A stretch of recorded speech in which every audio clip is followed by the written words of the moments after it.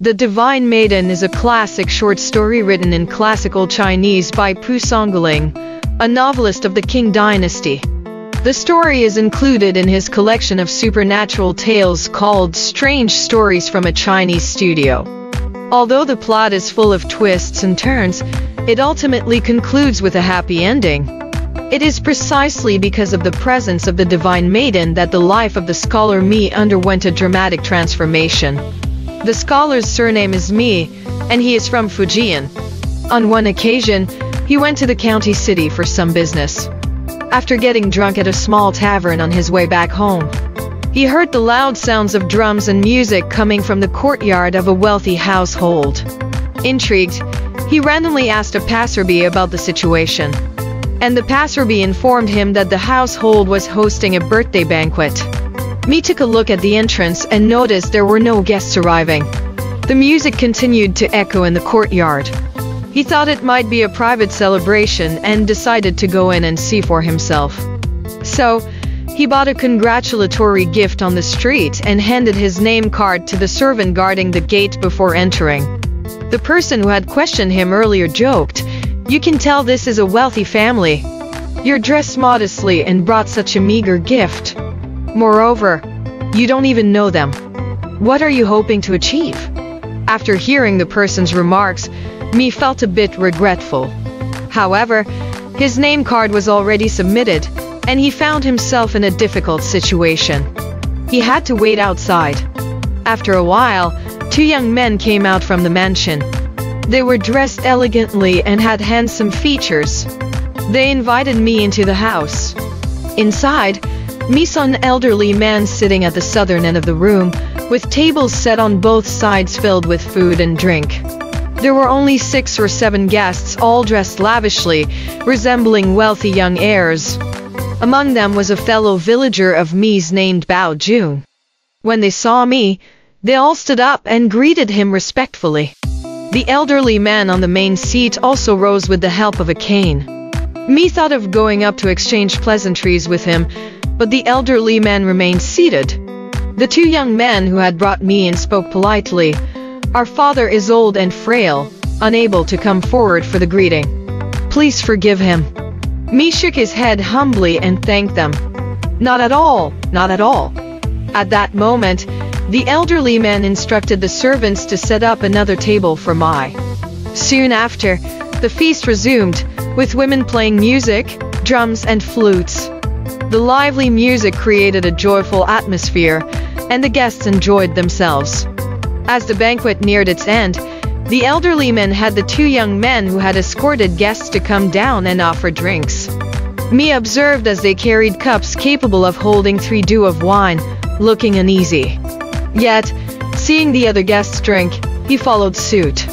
After a few cups, Mi realized he couldn't handle any more. He stood up to take his leave, but the young man held onto his clothes, preventing him from leaving. Feeling somewhat intoxicated, Mi lost his balance and fell to the ground. In his semi-conscious state, Mi felt someone spraying cold water on his face. Slowly regaining consciousness, he stood up and saw that the banquet was over, and the guests had left. Only one young man was supporting him. Mi bid his farewell and left. Later, when Mi passed by the same house, he found out that the elderly man and his family had moved away. On his way back home, Mi met a fellow villager named Bao Jun. Bao Jun warmly invited Mi to a tavern for a drink, and Mi followed. They chatted in the tavern, and from Bao Jun, Mi learned that the old man was named Fu, not Mai. They drank until dusk. That night, Bao Jun suddenly died on the road. Bao Zhuang's father accused Mi of being the murderer. Officials examined Bao Zhuang's injuries and based on circumstantial evidence, Mi was charged with murder. Despite enduring harsh interrogations, authorities lacked concrete evidence to convict him of the crime. Consequently, Mi was imprisoned.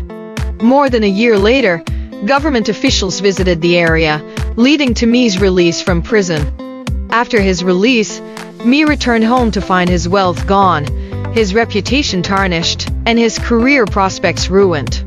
Knowing he had been unjustly accused, he sought exoneration and a restoration of his reputation. He set out for the county city with his belongings. On the way, exhausted, Mi rested by the roadside. A carriage approached from a distance and stopped before him. A maid inquired, Are you surnamed Mi? Startled, Mi asked how she knew. The maid said, How did you end up in such a destitute state? Mi explained his story. The maid asked where he was going, and Mi mentioned his intention to restore his reputation in the county city. After a few words with someone in the carriage, the person inside requested Mi's presence at the front. Peering inside, Mi saw a pair of delicate hands part the curtain. He stole a glance and saw a stunning young woman sitting within. The young woman said, You've suffered a great injustice. Your story is truly lamentable. To regain your reputation, entering the academic institution empty-handed won't suffice. Passing through the gates is like navigating a marketplace these days, with open bribery. I don't have much to offer, but I'll give you 200 taels of silver as capital for your pursuit of success. Upon seeing this, Mi quickly declined, saying, Lady, your kindness to me is already too much. How could I accept money? I cannot take it. I only hope to know your name and create a portrait to worship daily. That would be enough. The maid didn't listen to his words and simply placed a package on the ground, then rode away swiftly on her horse. Helpless, Mi could only take the package back home. Upon examining it, he still hesitated to use it to regain his reputation and curry favor with the powerful. Later, Mi participated in the exam and managed to enter the county school as the top scorer. He gifted all the silver to his elder brother, who was skilled at accumulating wealth. Within three years, the Mi family's fortune was restored to its former glory. At this point, the local governor happened to be a disciple of Mi's ancestors, leading him to care for Mi's family greatly. With one brother having gained scholarly achievements and the other prosperity, they became a well-known and respected local family. However, Mi remained upright and incorruptible, never seeking favors or connections from the governor despite their family ties. One day, a well-dressed guest arrived on a fat horse, seeking an audience with Mai. No one in the family recognized him, but Mi saw that he was the son of the family he had visited for the birthday celebration earlier. Mi courteously invited him into the living room. The wealthy young man knelt upon entering, and Mi asked in surprise, What is the meaning of this? With sorrow, the young man named Fu said, My family is facing a great calamity, and only my elder brother can help by requesting the governor's assistance. Mi declined, saying, though I have connections with the governor. Due to our family history, I am unwilling to trouble others with personal matters. Begging on his knees, Fu beseeched Mi, who responded sternly, Our connection was formed through a casual meeting over drinks. How can you force others to compromise their lives and honor for your sake? Embarrassed and frustrated, Fu stood up and left. The next day, Mi sat alone at home. A maid entered, and he recognized her as the same person who had given him silver in the mountains to help her mistress. Startled, Mi stood up. The maid berated him, saying, Have you forgotten the pearl flower? Mi quickly assured her, How could I? How could I forget? The maid said, The young master who visited your home yesterday is my mistress's elder brother. Hearing this, Mi felt inwardly pleased but pretended, I really wasn't aware. Even if it were a boiling pot, I wouldn't accept commands from him without his sister personally requesting it. The maid remained silent, leaving after a while. Later that afternoon, the maid returned, knocking on the door. She informed Mi, the mistress is here. Before she could finish, the young lady entered the room. Without speaking, she stood in a corner, facing the wall and weeping. Mi bowed in respect and said, If it weren't for the lady, I wouldn't be here today. Please feel free to give any orders. Through tears, the young lady said, People who beg are often looked down upon, and those who seek help are often regarded with apprehension. I roamed around in the dead of night, facing hardships I've never experienced. But now, I have no choice but to beg. There's nothing more to say. Mi tried to comfort her, saying, I hesitated because I missed the chance to meet you again. I didn't want you to endure hardships in the middle of the night because of me. It's my fault. He reached out and grabbed her sleeve, secretly touching her arm. The young lady was furious, scolding, You're not an upright gentleman at all. I thought you cared about honor, but now you're taking advantage of my situation. I misjudged you.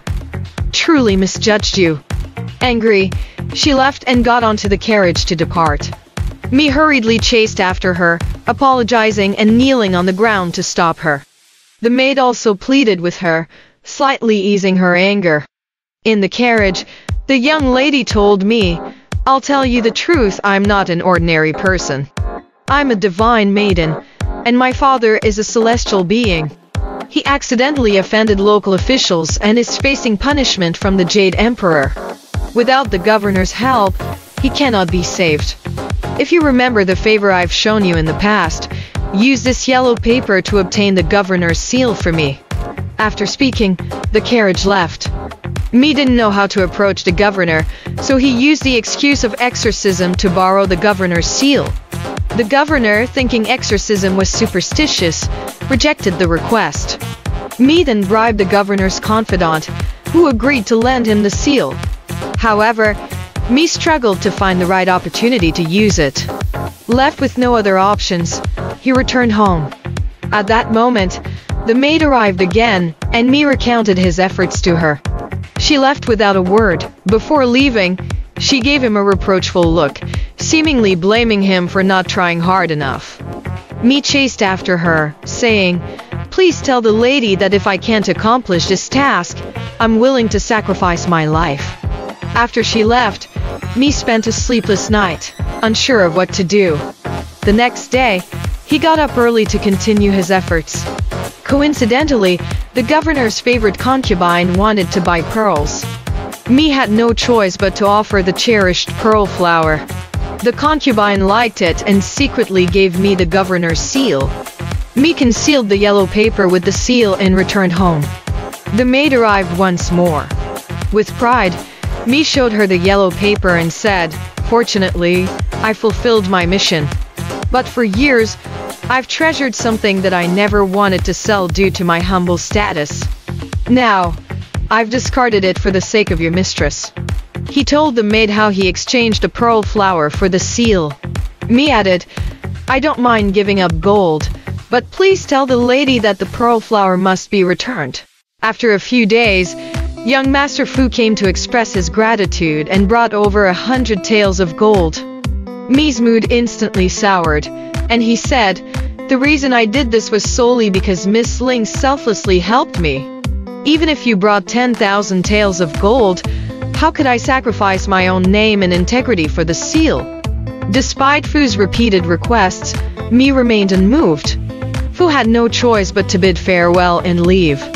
Before departing, he told Mi, this matter can't just be left like this. You've helped me, and the debt remains. The next day, as per the goddess's orders, the maid brought Mi 300 exquisite pearls, saying, These should suffice to compensate for the pearl flower. Mi replied, I was attached to that particular pearl flower, not these precious pearls. Even if you had given me treasures worth a fortune at the time, selling them would only make me wealthy. I cherish that pearl flower, choosing poverty over riches for what? Lady, you're a divine being.